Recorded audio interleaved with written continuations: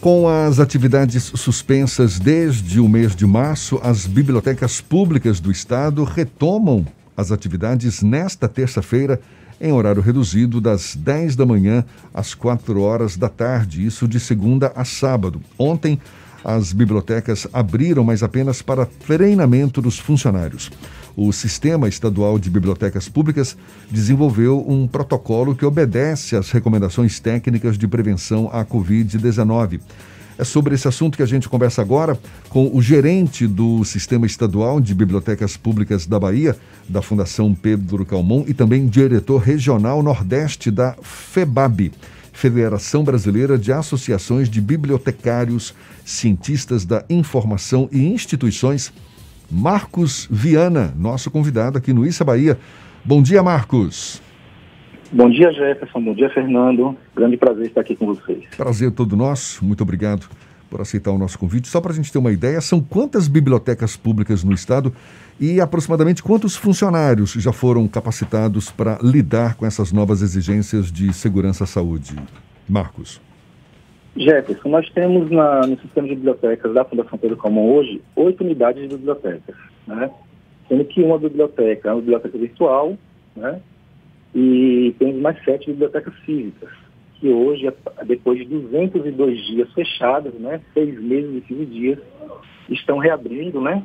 depois de tantas, tantas pessoas né, estarem buscando essa informação o tempo inteiro conosco. É um longo período. Mais... Isso é, é um longo período né, em que as bibliotecas ficaram fechadas. Por mais que fosse necessário uma atitude como essa, claro, todo mundo aí ainda convivendo com a pandemia, houve algum cuidado no sentido de, de preservar a qualidade do acervo dessas bibliotecas? Foi necessário isso ou o simples fato de terem ficado fechadas, isso já garantia o, a, a proteção, a segurança desse acervo, Marcos? Excelente pergunta, Jefferson. Na verdade, a gente teve todos os cuidados, né, como você bem disse aqui no início do programa, no início da entrevista. É, a Fundação Pedro Calmon, através do seu sistema de bibliotecas públicas, preparou um protocolo, né, protocolo esse que garante essa reabertura, garante todos os cuidados necessários, todas as medidas necessárias para que tanto os nossos servidores quanto os nossos é, usuários se dirijam às unidades e possam ser recebidos com toda a segurança possível. É, o acervo ele realmente esteve fechado, sem manuseio durante esse tempo todo, é, e passava pelas manutenções diárias, de limpeza, né, na verdade, que temos um funcionamento interno dentro desse tempo. O funcionamento das bibliotecas, quais são os procedimentos que o usuário precisa ter, vai precisar adotar para ter acesso e frequentar as bibliotecas públicas durante esse período da pandemia e se existe algum tipo de escalonamento para o pleno funcionamento delas. Sim. É, na verdade, o nosso atendimento é, iniciará a partir de hoje, todas as unidades que vão reabrir, das 10 da manhã até as 16 horas, né, obedecendo o decreto, o decreto municipal. E todo atendimento será feito é, para que as pessoas é, sejam bem recebidas com todas as medidas necessárias. O, as pessoas poderão se dirigir a qualquer uma das unidades de bibliotecas do Estado, bibliotecas públicas, né, e todo o protocolo vai ser adotado com relação à questão do serviço de empréstimo, né, que será feito de forma agendada, né, as pessoas poderão procurar a unidade da sua preferência, agendar e se dirigir à unidade né, para fazer realizar seu empréstimo nós só começaremos a receber os livros que foram emprestados antes da pandemia a partir de 30 dias do funcionamento, né? E, e será dessa forma, né? A gente receberá as pessoas em demanda espontânea, obedecendo todo um critério né, de, de, segurança e obedecendo todas as medidas sanitárias, inclusive. E, e a pesquisa será agendada, o empréstimo será agendado, as devoluções também serão agendadas. Né? E esse serviço começará a funcionar a partir de 30 dias contando a partir de hoje. Você está citando o caso do empréstimo de livros, esse é um cuidado especial, certamente, não é? Se não me engano, eles Sim. depois de, de devolvidos ficarão indisponíveis por pelo menos duas semanas, é isso? Exatamente, né? A, uma, a medida mais eficiente adotada hoje pelas bibliotecas é essa quarentena, né? Então, todo livro que ele chegar da rua, que ele for devolvido, ele será é, colocado em separado, né, em um local específico para isso, já separado dentro das unidades, para que ele fique nesse período de quarentena, né, que é um período de segurança, na verdade, e a partir desses 14 dias, eles retornarão ao acervo e estarão disponíveis no sistema que nós utilizamos, que é o sistema Pergamo, que as pessoas podem acessar online de suas casas, suas residências, para poder saber todo, tudo que nós temos em nossa feira.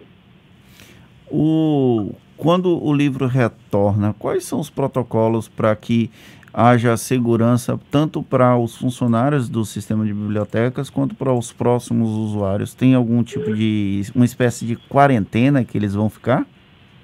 Sim, exatamente, foi o que eu acabei de falar, né? Nós, eles serão recebidos, os funcionários estarão todos preparados, né, com todos os materiais, totalmente paramentados, né, com tudo que aquilo que é necessário para que o protocolo realmente seja eficiente e ficarão em quarentena durante 14 dias, conforme falei, e só a partir indisponíveis também. E só a partir daí é que eles retornarão ao acervo e passarão a circular normalmente.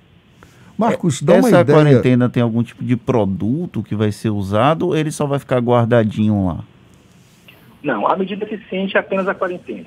Né? A gente sabe que o vírus no papel, após 14 dias, ele não, não resiste. Então, essa é a medida mais eficaz utilizada hoje por todas as bibliotecas. Marcos, dá uma ideia para gente do acervo da, das bibliotecas públicas. Aqui em Salvador a gente tem a Biblioteca dos Barris, não é, não é verdade? Que, enfim, é, inclusive é, é, é, um espaço cultural, não é? com várias atividades ali do lado uhum. e tal. Dá uma ideia do que, que o público encontra no acervo, por exemplo, da Biblioteca Pública dos Barris.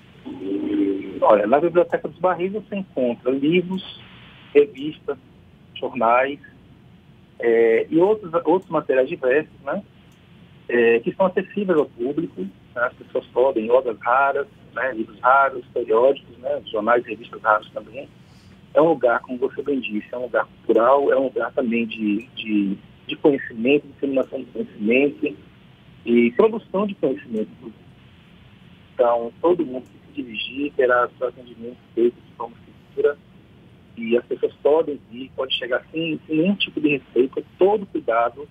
Né? A Fundação Pedro Calmon é, adotou um protocolo muito rígido, né? todo o treinamento foi realizado, as pessoas estão prontas para receber, né? estão prontas também para trabalhar com segurança, tudo está feito é, de forma é, recomendada pelas entidades sanitárias, pela Organização Mundial de Saúde, né, é, Ministério da Saúde, Secretaria de Saúde do Estado, e temos a certeza, a plena certeza que voltaremos a funcionar com toda a segurança né, para receber as pessoas que estão ansiosas por essa reabertura, inclusive. Né? Nós recebemos o tempo inteiro consulta de pessoas querendo saber quando as bibliotecas retornam. Como é que funcionará a eventual, o eventual uso dos livros nas próprias bibliotecas?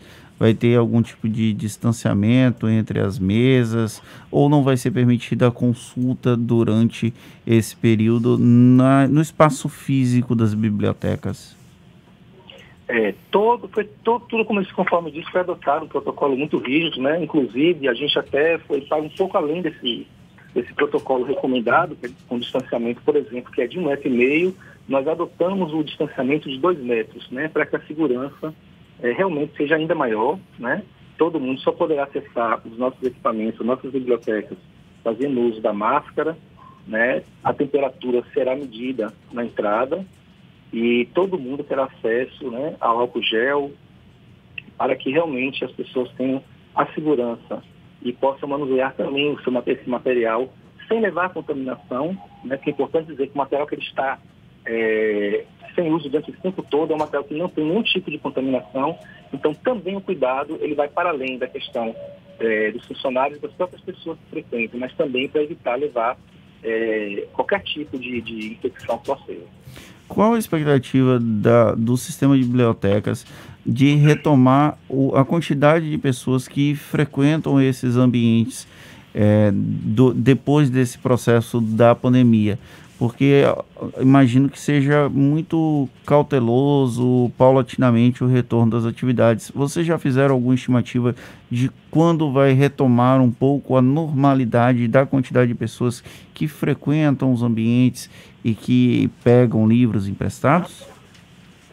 É, na verdade, a, a, gente, nós estamos muito ansiosos né, por esse momento. É, as medidas são realmente é, necessárias para que a segurança exista. Então, a gente não sabe ao certo né, a, a, o tamanho da demanda, mas seja ela qual for, nós estamos preparados, né, as pessoas podem vir sem medo, sem nenhum tipo de problema, com toda a segurança, serão atendidas. Agora, claro, obedecendo a questão de público, é, a gente tem vai ter limites em cada unidade, dependendo do tamanho de cada unidade. Então, isso vai ser feito e as pessoas estão extremamente orientadas para fazer esse controle, um controle muito rígido de entrada das pessoas.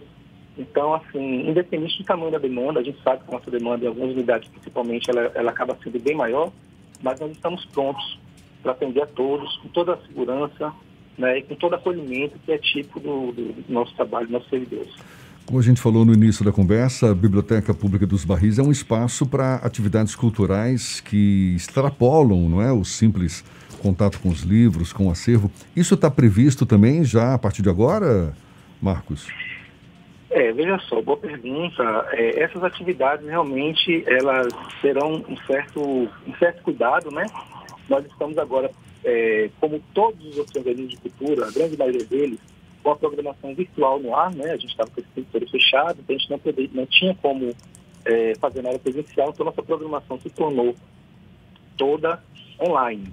Né? E nesse retorno, nesse momento, queremos que obedecer né, toda um, uma gama de critérios para que a gente não tenha nenhum tipo de aglomeração, para que a gente é, realmente atenda somente aquela quantidade prevista, claro que de acordo ao tamanho de cada unidade. Né? Isso respeitando o distanciamento, né, sem uso de máscara, e, e, geralmente a gente está fazendo com que esses eventos não durem mais que uma hora. A gente tá, é, vai procurar trabalhar para que esses eventos eles, eles é, durem no máximo uma hora. Né? Claro que buscado, dependendo do tipo de evento ele pode passar, mas obedecendo todos esses critérios rígidos né? e as instituições sanitárias é, colocam né, para a questão da segurança de, to de todos. Tá certo. Só para confirmar, Marcos, são oito bibliotecas públicas administradas pela Fundação Pedro Calmon, é isso? Sim, Incluindo a virtual. Sim, uma biblioteca virtual, nós temos uma biblioteca, uma biblioteca de extensão, que são as bibliotecas móveis. Essas não voltam a funcionar nesse momento, porque elas se deslocam por todo o interior do estado. Mas temos a Biblioteca dos Barris, temos a Biblioteca Infantil Monteiro Lobato no bairro de Nazaré, Anísio Teixeira no Pelourinho, a Tales de Azevedo no Costa Azul, a Juraci Magalhães do Rio Vermelho e a de Taparica. Né? Algumas no momento não vão reabrir por estarem em reforma, né, para poder, para esses, esses 202 dias fechadas. Por exemplo, a do Rio Vermelho e a do Costa Azul, que são bibliotecas que estão numa faixa litorânea, né, sofreram muitos é, é com as intempéries é, da questão da, da marisia. Salitre. E aí, sabe que 200 dias fechados, a gente tem que fazer né, algumas coisas, então essas duas ainda não vão reabrir, mas as demais, a Biblioteca Central do Estado em Barriga, a Monteiro Lobato, que é a nossa biblioteca infantil em Barriga de Nazaré, Anísio Teixeira em Pelourinho, todas essas estarão abertas para receber o público. E mais, logo em breve estaremos abrindo as demais.